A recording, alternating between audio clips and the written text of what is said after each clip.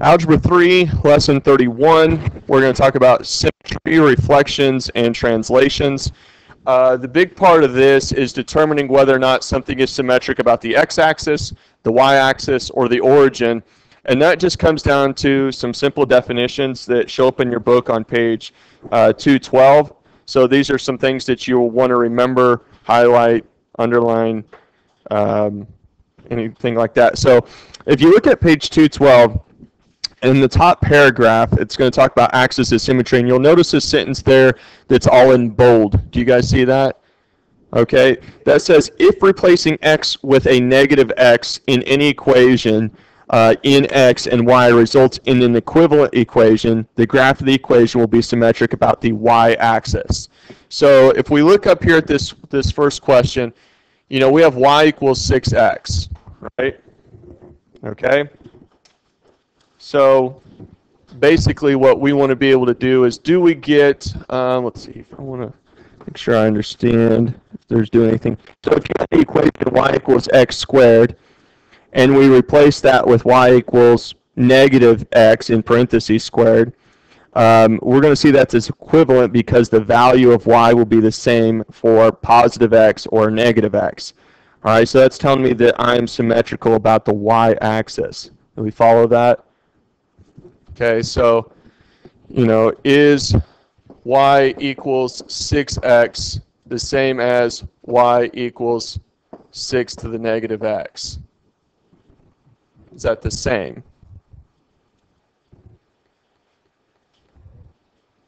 Well, it basically is saying is y equals 6x the same as y equals negative 6x. Well, let's, no, it's not the same right? Because, right, they're not, they're different. Okay? Uh, let's see. Now, opposite is true. If replacing the y with negative y in any equation and x and y results in an equivalent equation, the graph of the equation will be symmetrical about the x-axis. So if we're looking for uh, use symmetry test to verify any of the three symmetries. So if we want to know then is uh, negative y equal to 6x. Is that the same thing as y equals uh, 6x?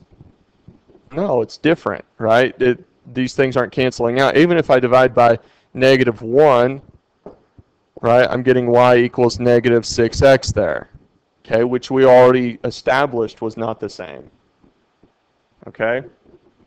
Now, at the bottom, it says the graph of any equation in x and y that is symmetric about both the x-axis and symmetric about the y-axis is said to be symmetric about the origin. Okay?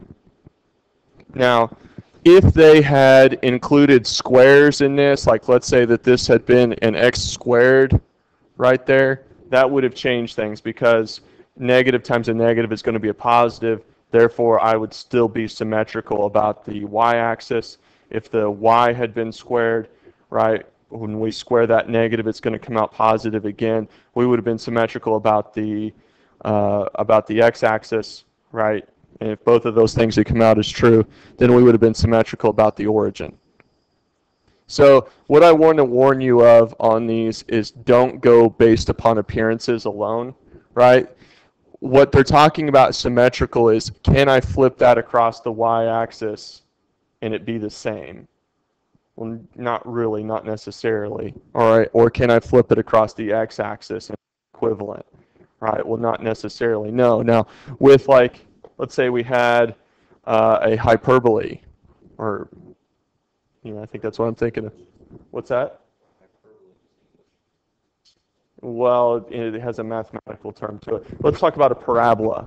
Okay, maybe that'll help you out a little bit. If I had something like this, right, where the vertex was on the y-axis, right, then that would be symmetric about the y-axis because I could flip it across the y-axis and it would still be the same graph. Does that make sense? Um, a lot of times with a hyperbole, right, those things are drawn typically like that. Well, that's symmetrical about the x-axis. Now, what's going to be symmetrical about both the x and y-axis, um, which is symmetrical about the origin, is a circle whose center is the origin. I can flip it across the x-axis, I can flip it across the y-axis, and it's still the same graph. Right, so there are some visual cues that can tell us when these things are going to be the same. Okay. All right. Number two, use symmetry uh, test to verify any of the three symmetries, x-axis, y-axis, or origin. Uh, let's see. That seems to apply here. So um, we would put in a negative x, right? Is But that would be y equals negative 4x plus 2. Is that going to be symmetrical about the y-axis? And even appearing, is that going to be the same graph whenever I y-axis? No, so it doesn't pass my y-axis symmetry test. Okay, what about symmetrical about the x-axis? If I make that a y, a negative y, and I divide it out by negative 1, do I get the same graph? No, I don't, right? That would be saying negative y equals 4x plus 2, right? I would divide everything by negative 1. I'd get y equals negative 4x minus 2. It has a different y-intercept. It has a different slope right? It's not symmetrical about the y-axis, or sorry, about the x-axis. And because it's not symmetrical about the y-axis or the x-axis, is it symmetrical about the origin? No. Okay? All right. Uh, the graph has none of these three symmetries. All right, let's keep moving along here.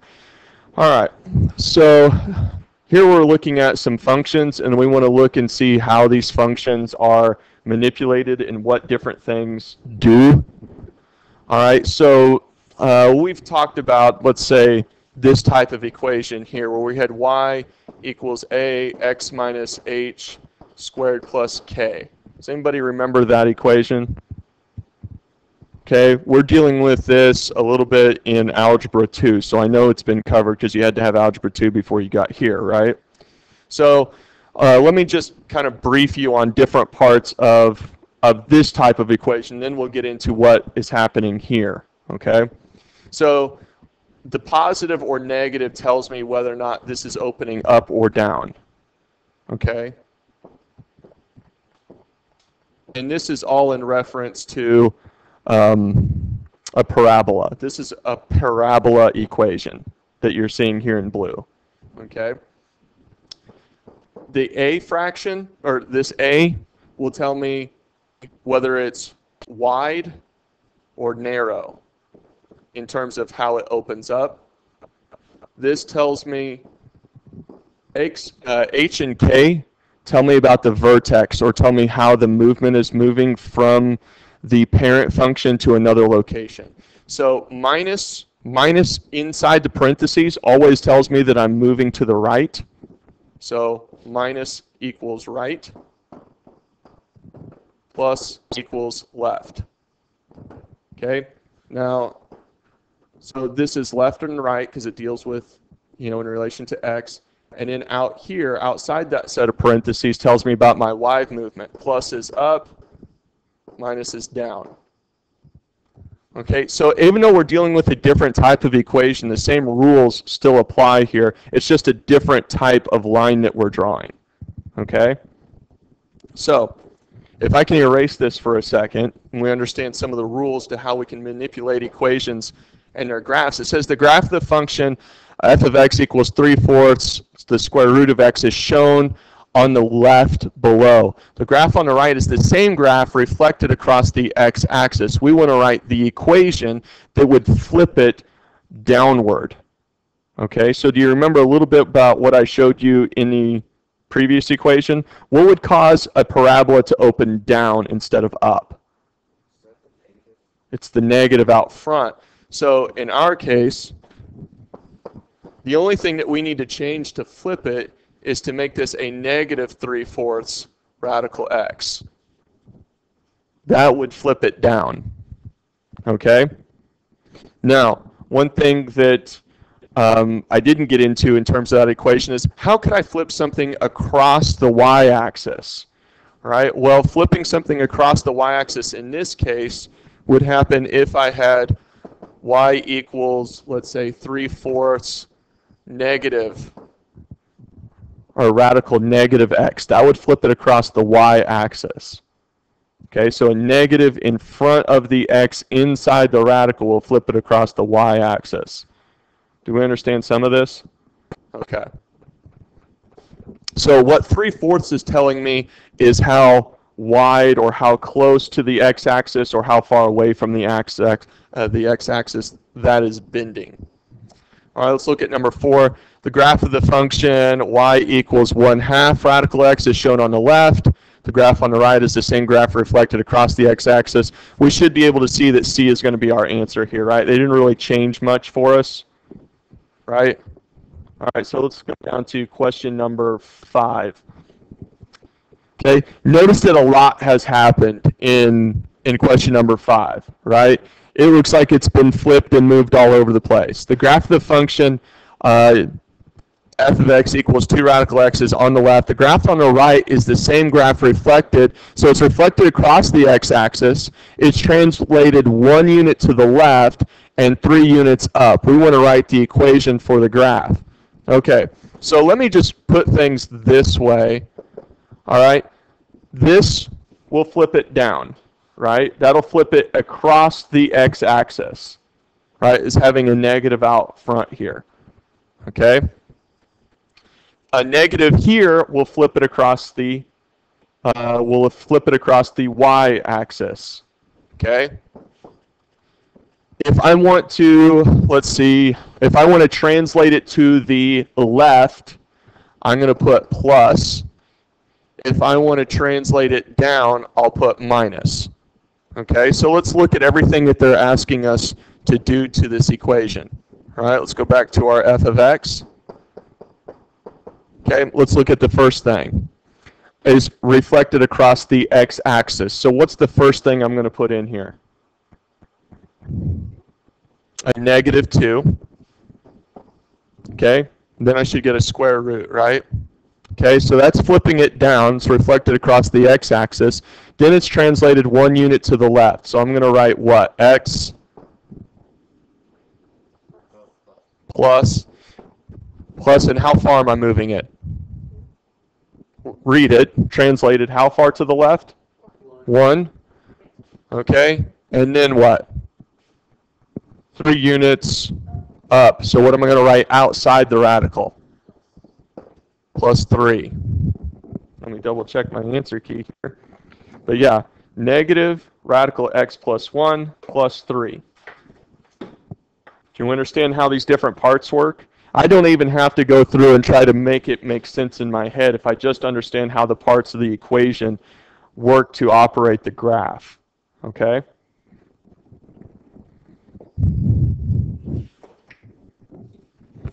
And you know what? I hopefully I hit record. I don't know that I'm even recording any of this. Oh, I'm good. I am. Whew. Scared me. Because everybody who's not in this class is is leaning on the videos to be able to do this. All right. So uh, number six, let y equals negative radical x and g of x be uh, square root of x plus 7. So it says A, the graph of G is the graph of F translated 7 units up. Okay? So we're looking for what is what is correct here. Right? The graph of G is the graph of F translated 7 units down. Is that correct? Yes or no? Is A correct? No. In fact, what is this? So let's just jump straight to it. What is that plus 7 doing? It's moving to the left. All right? Because what we call this right here, this y equals the square root of x, in this type of equation, that's what's called the parent function, which means it is the very most basic, this is where we start from type of equation. Everything else is a movement or change of that equation. So we're moving, all we're doing is we're moving uh, our first equation seven units to the left, which is right here. Okay? All right, I think we just have two questions left, and I have like four minutes. So seven, given the function, and this is this operates under the same rules. The only thing that changes between what you see in seven and what we've been working with with six is the type of grouping symbols that we're using.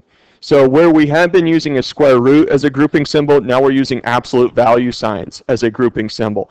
The same way in the equation I originally showed you, use parentheses as a grouping symbol. But all of the same rules are the same in terms of how we manipulate the equation or how we translate. Okay? None of that has changed. So given the function f of x equals the absolute value of x, we want to write the equation of the function g, whose graph is the graph of f translated three units to the left and three units up. Okay, so we're not changing which way it's flipped, are we? No. Okay, so we're going to start off with our absolute value. It's going to remain positive. I'm going to write an x. I want to translate it um, three units left. So what am I going to write there? If I want to go left, what do I do? Plus 3 and then I close up the, the grouping symbol, okay? All right, just happens to be absolute value in this case. And then I want to go three units up. So what do I do out, outside of the grouping symbol? Plus three. All right, and because it's absolute value, all the parent function of f of x equals the absolute value of x looks like this. So what we're going to do is we're going to go three to the left, one, two, three, and three up, one, two, three. And that's this point, and it should look like this. Does that make sense? Yes, hopefully, a little bit. Okay, I know I'm kind of flying through here. All right, finally, number eight, we've got our parent function. Um, the graph on the right is the same graph rotated 180 degrees about the origin, translated one unit to the right and one unit up, write the equation of the graph. So if we're rotating something 180 degrees, we're flipping it across the x-axis and the y-axis. Okay? So both of those things are happening. So I should get f of x equals negative radical negative x. And then translated one unit to the right, so minus one, and one unit up. It should look like that. So do I see that anywhere? Should be C. Okay, or let me make it a little easier there. Did any of this lesson make sense? Hopefully, some of it? Okay.